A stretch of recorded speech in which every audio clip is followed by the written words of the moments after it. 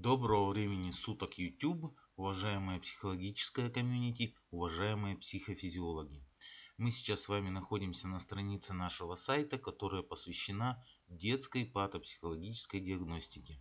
Мои сотрудницы активно работают над тем, чтобы предоставить эти методики вам, уважаемые коллеги. К сожалению, пока у нас небольшое количество лиц, которые, организаций, которые заключили с нами договора, но тем не менее они есть народ начинает просыпаться, интересоваться тем, что должно быть у них всегда и везде, если они работают школьными, детскими психологами, возрастными психологами. Давайте так на будущее будем говорить о возрастных психологах, неважно где они работают, в детских ли садах, в домах инвалидности, в школах ли, неважно, не принципиально.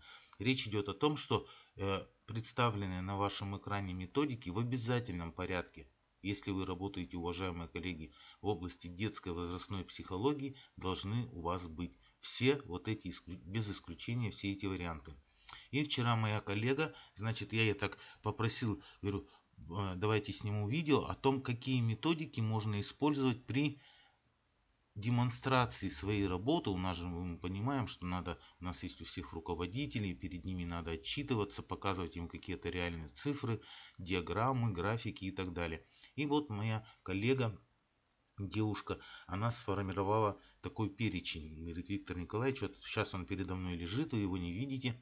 И я сейчас вам расскажу о тех методиках, которые можно оцифровать. Условно говоря, все методики являются патопсихологическими, качественными и с трудом подаются оцифровки.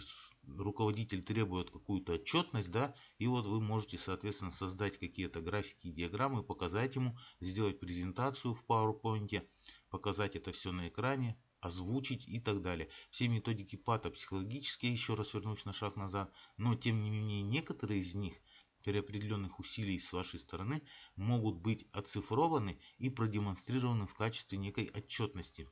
Давайте я вам сейчас прямо их перечислю. Вот передо мной лежит лист с оценкой моей коллеги.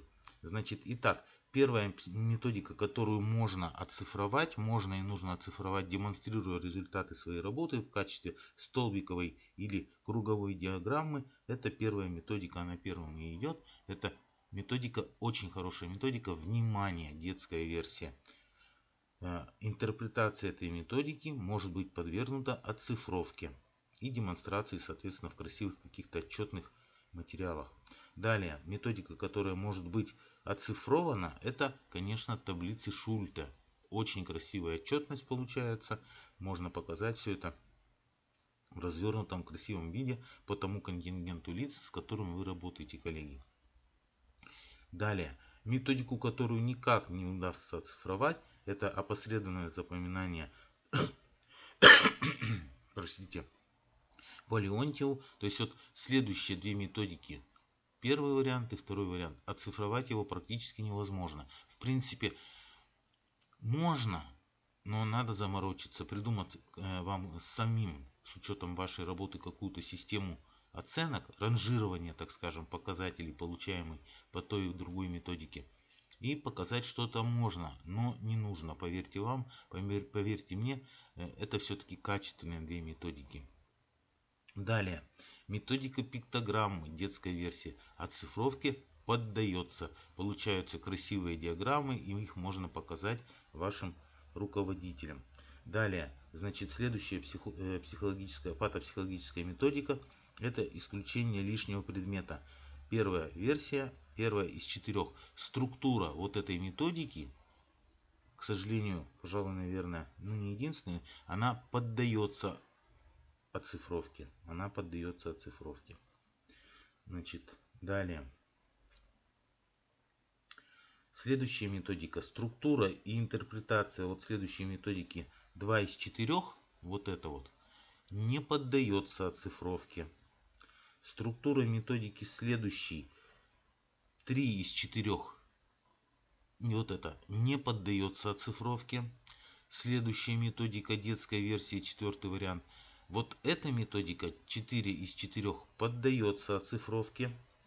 Следующая методика исключение лишнего слова не поддается оцифровке. Далее я смотрю по своему списку. Значит, следующая методика не поддается оцифровке. Не поддается оцифровке. Еще раз повторюсь, что в принципе заморочиться и создать какую-то свою систему ранжирования оценок можно, можно, но не нужно. Тем не менее.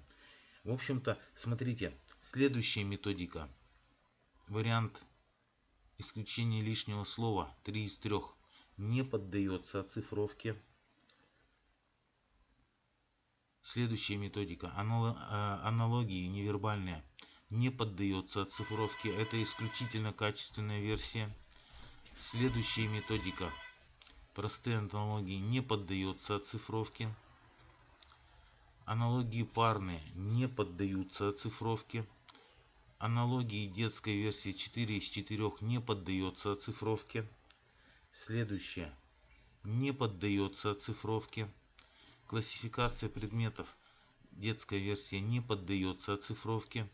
Сравнение понятий. Детская версия не поддается оцифровке. Существенные признаки. Детская версия не поддается оцифровке. Следующая методика. Метафоры, пословицы и поговорки. Сравнение метафор, пословиц и поговорок. Не поддается оцифровке. Методика цветные матрицы Равена. Она у нас есть. Поддается оцифровке заказываете хорошая методика э, тест тревожность детская версия не поддается оцифровке и тест детской перцепции кат детская версия не поддается оцифровке.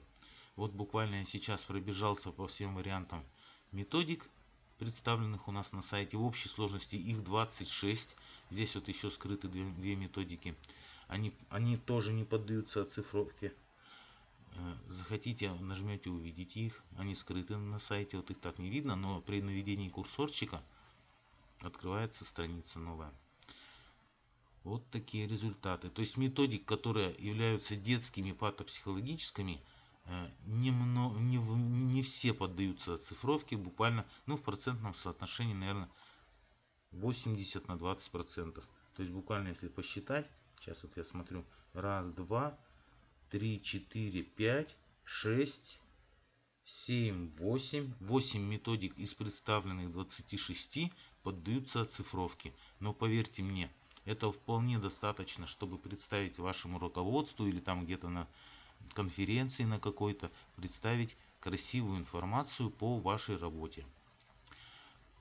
Собственно, на этом все. Благодарю вас за внимание и удачи вам!